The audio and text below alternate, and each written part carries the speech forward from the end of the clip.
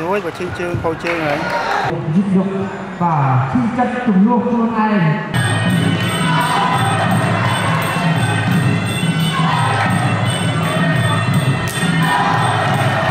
ខូចជើងបាទហើយបងប្អូន1 2 3 4 5 6 7 Betul kan, Rekut?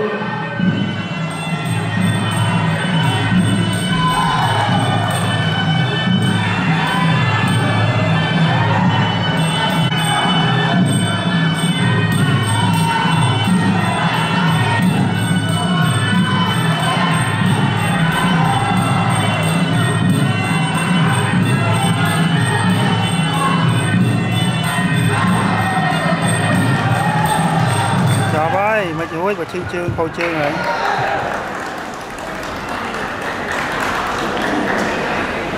សោកស្ដាយចំពោះយុទ្ធយុគបាទឈឺចិត្តជំនួសខ្លួនឯងមិនគួរណាជំទួយក្រោមបាទក្បាលទុនគ្នា